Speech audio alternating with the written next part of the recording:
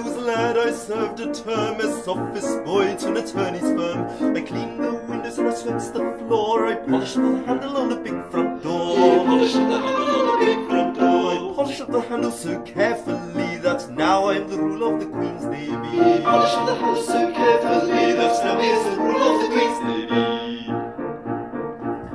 As office boy, I made such a mark that they gave me the post of a junior clerk. I served the writs with a smile bland. I copied the letters in a big round hand. Copied the letters in a big round hand. I copied the letters in a hand so free that now I'm the ruler of the Queen's Navy.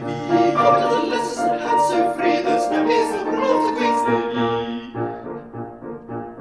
In serving writs, I made such a name that an articled clerk I soon became. I wore clean collars and a brand new suit for my pass examination at the institute.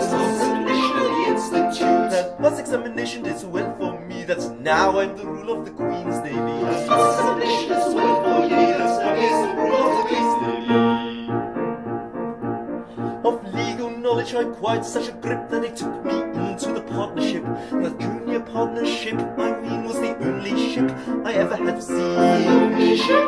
Had. But that kind of ship so suited me that now I'm the rule of the Queen's Navy. That kind of ship so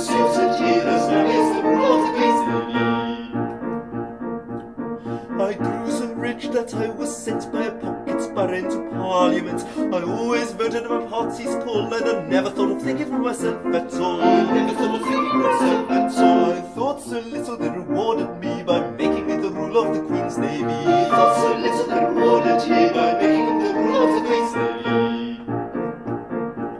Now, landsmen, all whoever you may be, if you want to rise to the top of the tree, if your soul is adventure to an office stool, be careful to be guided by the golden rule. Stick close to your desks and never go to sea, and you all may be rulers of the Queen's Navy.